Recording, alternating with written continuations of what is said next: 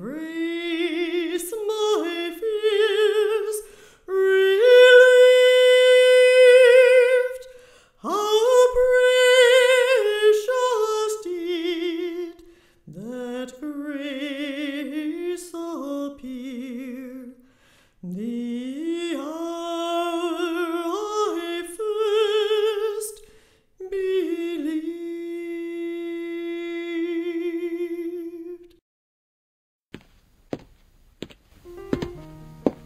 So I don't really understand why some people want to know about my father, Amirus Darrow.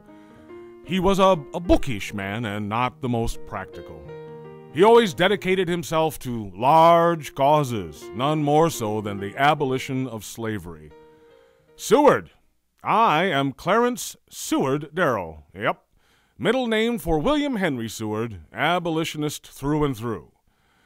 Now, you might find this difficult to believe, especially after hearing, in a bit, how I hardly spared the rod when I took on Mr. Bryan in the Scopes cross examination. My father graduated from seminary school, but he could not, would not preach. I, like all the rest of my brothers and sisters, inherited my politics and my religion from my father. Nearer to thee. That must be WJ and is my cue to sit down. it Be across. This might take a while. Me. Still all my song shall be nearer, my God, to thee. Nearer, my God, to thee. Nearer to thee. In the beginning, I had three ambitions. Yes, sir. I had them by the time I was just a mere lad of six while living at the old homestead in Salem, Illinois. The first was to become a Baptist preacher, due doubtless to the fact that my father was a member of that church. My father reminded me about that after he had taken me to that church one hot August evening for an immersion during a very long evening of preaching. I remember like it were only yesterday seeing the convert going down in the pool of water to be baptized. She was standing right there in front of me when this happened. I do remember thinking long and hard about that entire evening. Then I asked my father whether I would have to go down into that pool of water in order to become a Baptist minister. Well, he said, without batting an eye, yes. WJ, you will move your story along, won't you? I shall, Clarence, I shall. You're usually the long winded one in the court of law. And WJ, let's uh, get to the Scopes trial. I was wondering when you would allow us to do that. The small rural town of Dayton, Tennessee, Rhea County Courthouse. You might be wondering why Dayton, such a small place. I wasn't wondering, but nevertheless, tell me. Why should the size of the town be a matter of importance in this famous trial?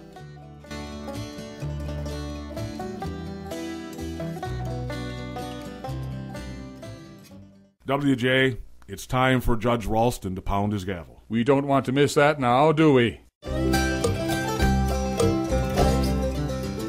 The court will come to order. State of Tennessee versus John T. Scopes. We will now proceed with this trial, ladies and gentlemen. Do you consider the story of Joshua and the sun a miracle? I think it is. Do you believe that Joshua made the sun stand still? I believe what the Bible says. I suppose you mean that the earth stood still. I don't know. I am talking about the Bible now. I accept the Bible absolutely. Do you believe at that time the sun went around the earth? No, I believe that the earth goes around the sun. Do you believe that the men who wrote it thought that the day could be lengthened or that the sun could be stopped? I don't know what they thought. You don't know?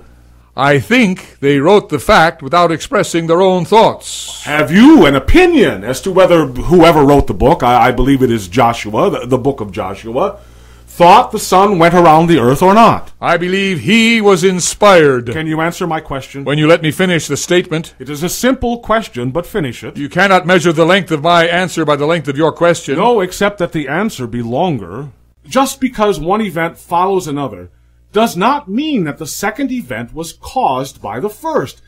This is the fallacy that can occur when trying to deduce the cause of historical events by correlating them with other historical events.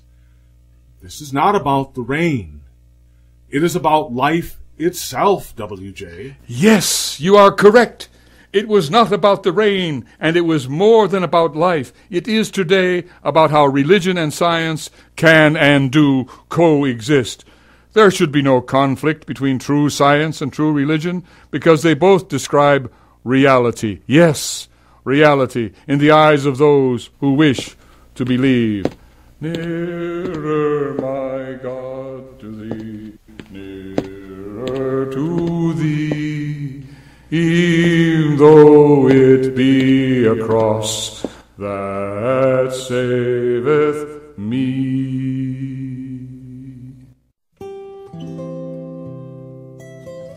At three o'clock in the afternoon of July 26, 1925, the great commoner, William Jennings Bryan, laid down for a nap. He never woke up. And on the thirteenth day after the trial began, my beloved husband William died in the same hotel where we stayed during the trial. He is buried at Arlington National Cemetery, a true legacy, and will always be part of the American historical landscape. You may find this hard to comprehend, but I truly felt sorry for W.J. I had followed his career for many years. I supported him when he ran for president. I, I recognized and admired his idealism and his zeal for life itself. Well, even today, I remember with great joy the talent and the passion held by this great man. He shall always be the boy orator of the Platte. Always.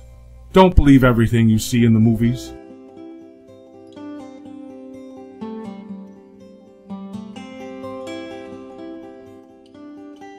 Darrow once said, Inside every lawyer is the wreck of a poet. Darrow also had a poet in his law firm. He was joined in his practice by Edgar Lee Masters, who later authored the Spoon River Anthology. Their relationship was often strained, but Masters was moved to write an empathetic poem about his old law partner. This is Darrow, inadequately scrawled, with his, With his young, young old, old heart. heart. Clarence Darrow and his drawl, and his infinite paradox, and his sadness, and his kindness, and his artist sense that drives him to shape his life to something harmonious, even against the schemes of God. To my dear old friend William Jennings Bryan, may God bless you and keep you. Amen. To my dear old friend Clarence, may God bless you as I do.